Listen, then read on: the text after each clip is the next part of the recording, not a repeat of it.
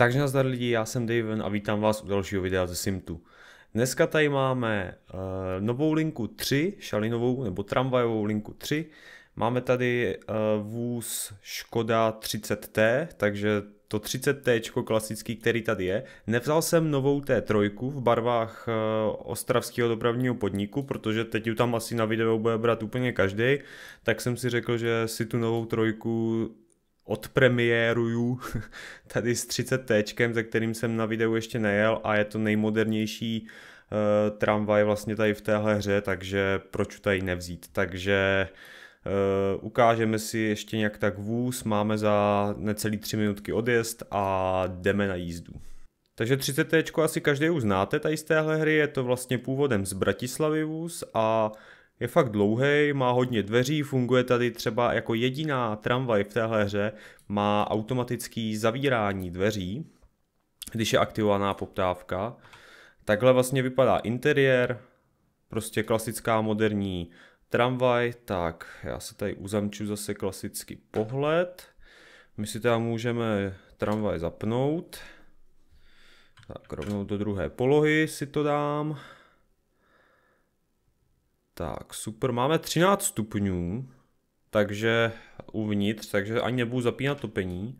Dáme si nahoru panťák. Tak, krásně.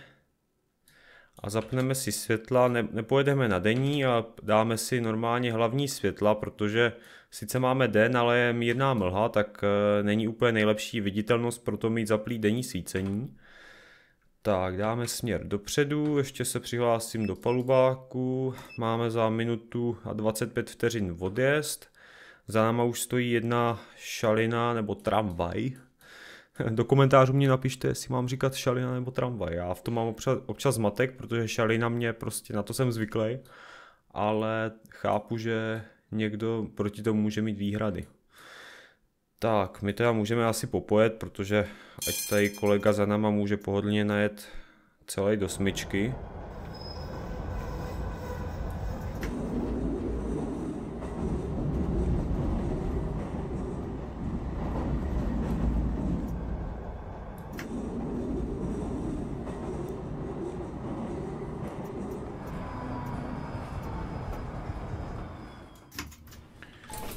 Červený vrch. Tak, otevřeme dveře a jak za chvilku uvidíte, tak když nikdo nenastupuje zase dál do těch dveří, tak se automaticky zavírají. To je právě speciální uh, feature tady téhle tramvaje v téhle hře. Jinak můžete krásně vidět novou smyčku Červený vrch. Uh, v reálu ji můžete znát pod názvem Modřice smyčka. Je fakt jako totožná, chybí tam teda akorát zadní smyčka na nebo zadní takový obratiště, zastávka na, eh, pro autobusy.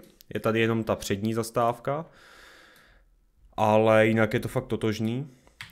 Samozřejmě i Vídeňská ulice, kterou dál tam pojedem, tak je taky totožná. Tak, můžu teda deaktivovat poptávku a můžeme se vydat na jízdu.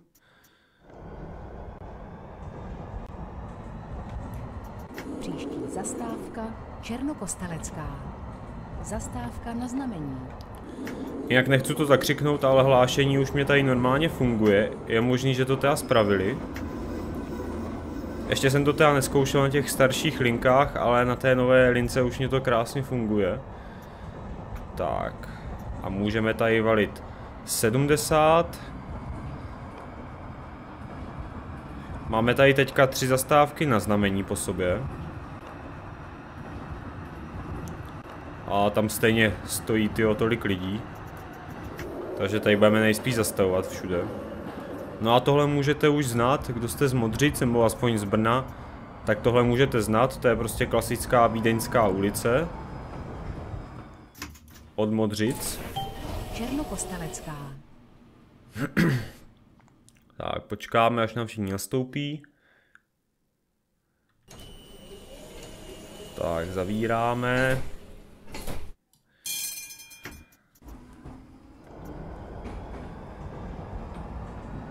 Příští zastávka na spojce. Zastávka na znamení. No a jedeme samozřejmě až, eh, až na hlavní nádraží, na to nový hlavní nádraží. Příště si můžeme dát zase, nebo někdy v nějakým dalším videu si můžeme dát zase linku 3 akorát eh, v opačném směru. Protože musím říct, že ta linka 3 je prostě úplně úžasná. Tak, jedeme 64 krásně. A za chvilku už máme zastávku na spojce, takže já sundám výkon. A nechám to trošku zpomalovat. Teď už tady nebude kopec, takže to začne maličko zpomalovat. Možná. Jo.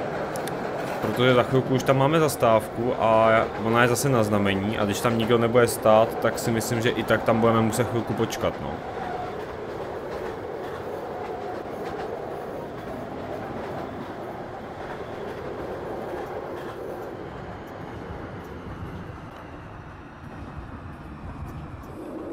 Tak, ale někdo tady stejně stojí, takže tady zastavujeme.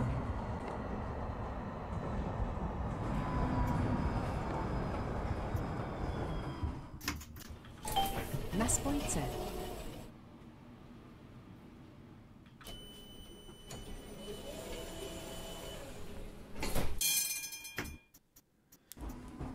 No a v tom příštím videu bychom klidně mohli vzít uh, tu novou T3 ostravskou. Příští zastávka vysokoškolské koleje. Zastávka na znamení. Jak ještě Brňáci, tak uh, když tady teďka přejíždíme tady uh, ten nájezd a sjezd na dálnicu, tam doprava by se jelo vlastně na Olomouc a tady doleva se jede na Prahu, to je D1, tak tady je to taky úplně totožný. A i to červený zábradlí je tady v reálu, prostě fakt všechno úplně tak, jak má být. Pecka úplně, pecka. No takže příště můžeme vzít tu té trojku novou. Ta má fakt jako vymakaný zvuky třeba, ta je úplně úžasná. Ale řekl jsem si, že si prostě vezmu tu, tady tu 30T, protože s ní jsme ještě nejeli na videu. A jako hodí se tady na tu linku.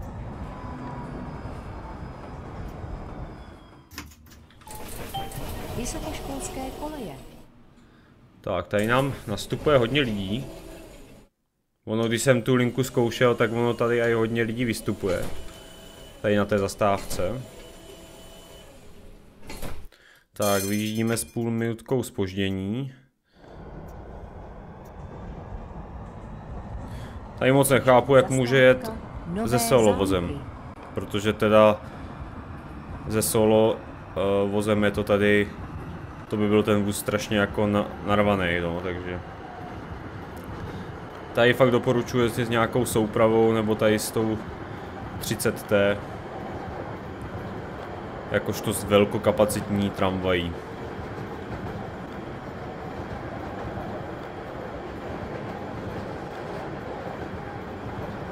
A stejně nevím, jestli náhodou není autor tady téhle hry Brňák, nebo aspoň někdo z jeho týmu, protože protože hodně, hodně lokací tady poznávám z Brna, takže ono to asi fakt asi fakt bude někdo z Brna, no. Jestli autor sám, to nevím.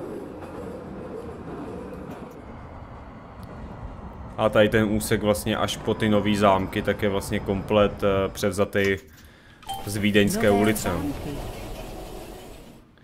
A pak na jedné trolejbusové lince jsem poznal uh, městskou část Kohoutovice.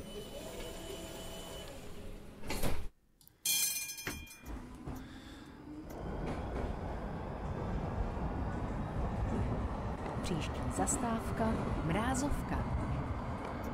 Tak, a teďka za chvilku nás bude čekat novinka tady téhle mapky. A to je, nebo tady téhle hry. A to je rychlostní výhybka. Která je fakt jako drsná. Už jsem samozřejmě několikrát tady tu linku jel, takže už to mám odzkoušený. Je automatická, přehazuje právě ty vlakové cesty zcela automaticky. Tady předvěst nějak nefunguje, ale tady se to už krásně hodilo. Máme tam 50, takže můžeme krásně 50 tu výhybku prosvištět. Ona se sama zablokuje A je to. Jak jednoduchý to je a nemusíme vůbec pomalovat. Jinak tam byla odbočka, tam napravo byla odbočka na Střelnou horu. Na vozovnu Střelná hora.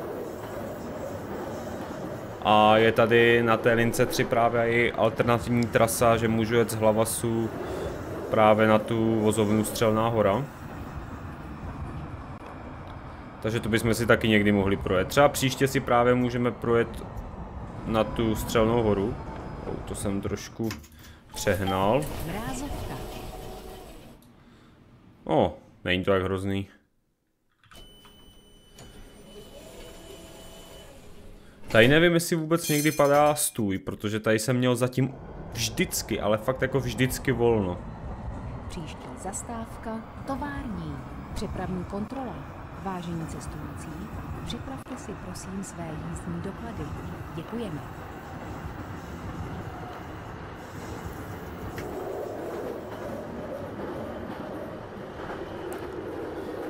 Tak a tady máme poslední zastávku předtím, než se napojíme na klasickou silniční síť.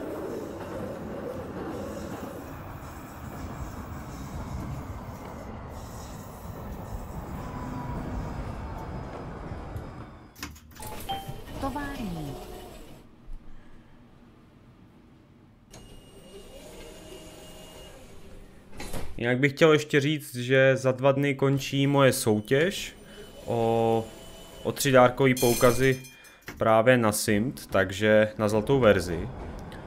Už vás tam je do soutěže úspěšně zapojených nějakých 15, Zastávka Fakultní nemocnice.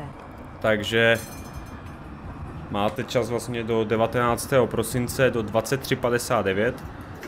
Pak soutěž končí a vyhlášení bude následující den. Hlavní je do komentáře napsat hashtag chci simt. To jsou prostě, to je klíčová fráze pro to, aby vás, abych vás potom jako vybral. Tak, máme tam volno, takže paráda. Tady můžete si všimnout fakultní a.k.a. Tomajerova nemocnice.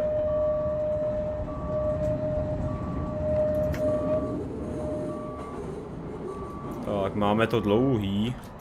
A už jsme za křižovatkou. Tady krásně do zastávky.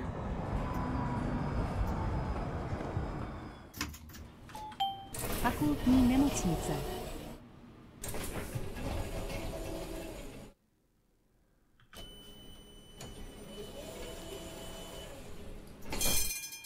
A pořád máme půl minutky spoždění, to je úplně pohodička. Příští zastávka Skladová. Zastávka na znamení.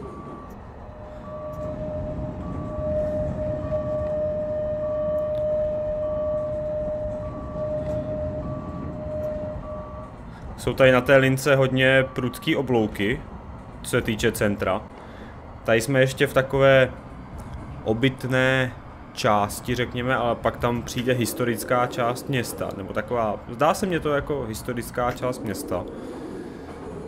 A vypadá fakt hodně pěkně a je to tam teda samá prudká zatáčka, no. Tak. Tady většinou nikdo nestojí na té zastávce na znamení, ale teď tady někdo je, takže zastavíme. Skladová. Tak, tady vyjíždíme s minutkou spoždění cca.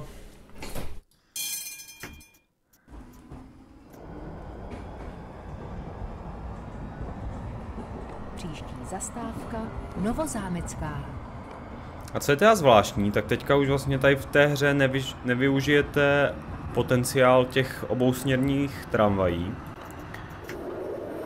Jak vlastně KT, tak, eh, tak tady to 30T bylo určený pro tu linku 2 z nemocnice Vřesiny právě na to hlavní nádraží, tak já vám zablokuju výjibku. A, oh, nevidím. A tam vlastně bylo obratiště na tom hlavním nádraží. Jenom bohužel teďka už to obratiště tam není, už je tam klasická smyčka. Takže teďka tady prostě musí... Můžou jezdit i na té lince 2, na všech linkách můžou jezdit už jakýkoliv vozy. Takže jedno, jestli máte T3, kačenu nebo, nebo tady 30T, je to úplně jedno. Takže je to takový zvláštní. Takže třeba někdy do budoucna přibude nějaká nová linka, která, která právě bude mít za úkol využít ty obousměrné vozy. Tak pomaličku tady přes výhybky.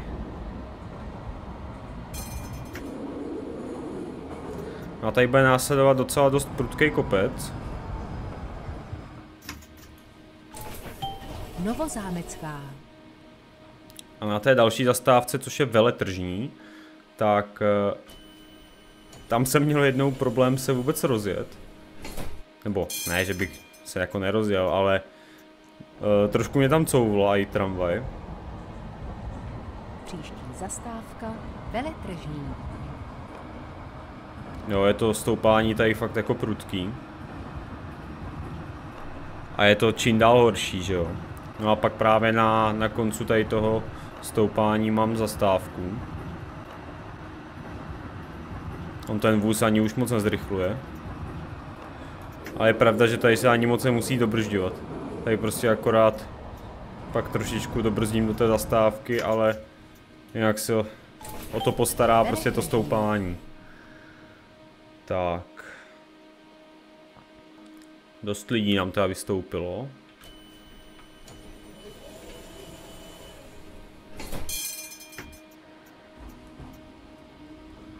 Tak, dáme skoro plný výkon.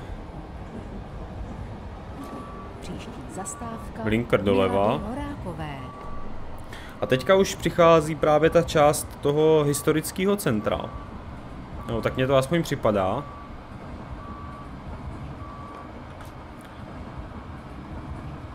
A přichází tady i nový typ eh, zastávek. A tady si vlastně hned ten nový typ ukážeme. To znamená, že je ta zastávka takhle právě v pruhu pro auta. Za náma teda žádný auto nejede, takže si to úplně neukážem. Ale důležité je dát prostě blinker doprava. Hezky zajet na tu zastávku. Milady Horákové. A ty auta normálně fakt stojí za tou zastávkou. A jakmile já zavřu dveře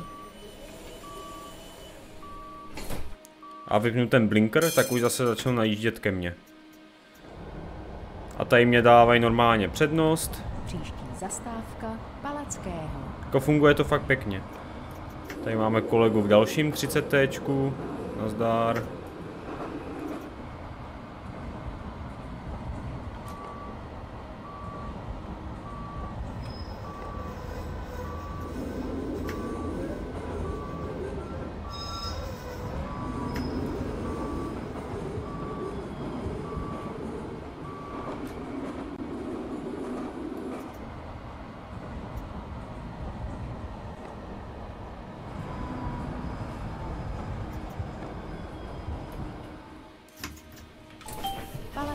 Jak to jste mohli taky si všimnout zvuk té kolejnicové brzdy. To je taky novinka, to tady taky nebylo. A pak už je vlastně nouzová brzda.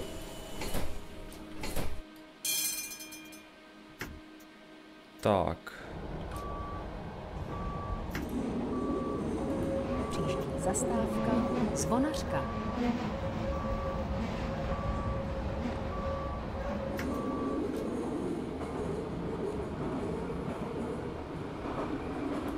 No a přichází naše předposlední zastávka. A pak už budeme na hlavním nádraží. Ještě poslední prudčí zatáčka. Dnes za zatáčkou máme zastávku Zvonařka. Zvonařka.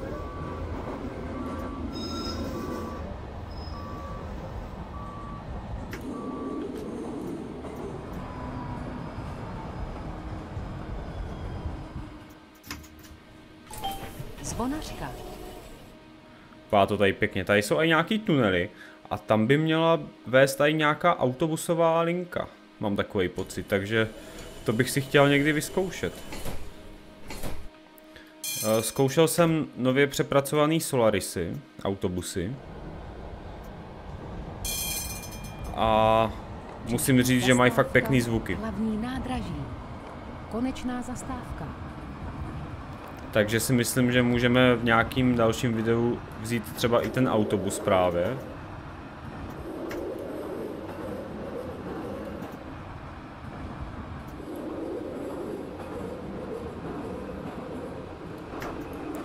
No a jsme na hlavním nádraží. Takhle vypadá příjezd k novému hlavnímu nádraží. Tak, krásně nám padlo volno. Preference MHD asi fakt funguje. Tak, tady doprava, tady máme klasický příjezd právě uh, linky 2.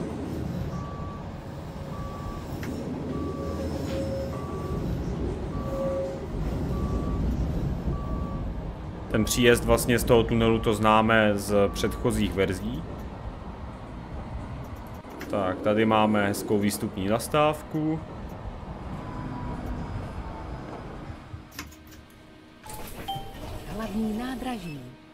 Konečná zastávka.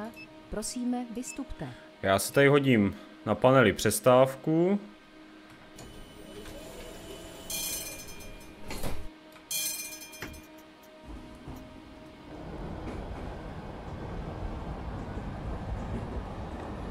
Tak a najedeme si do smyčky. Prostřední kole je zabraná, takže my pojedeme asi úplně tady na tu, na tu levou kolej. Takže si přehodíme výhybku. Nevím, jak bych teďka z tohohle pohledu měl zablokovat, nebo přehodit a zablokovat tu, tu druhou výhybku, protože možná Shift P? Ne. Prostě dám jenom, nebo Ctrl P? Ne. To přehazuje jenom tu první. Nevím, jestli teďka z mýho pohledu můžu zablokovat i tu druhou. Vím, že kdybych zajel za tu první výhybku, tak můžu pak zablokovat hned tu druhou, jo, aj. Ale jestli to takhle jde udělat předem, to jsem zatím nenašel žádný způsob.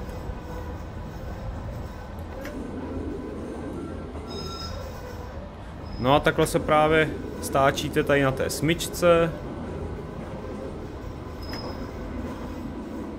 Na konci smyčky je takhle krásná rovinka pro odstavení. Takže zajedu nějak tak až dopředu. Tak asi takhle. Vypnu topení. Otevřu přední dveře. Tak a jsme na konečné, takže jdeme ukončit video.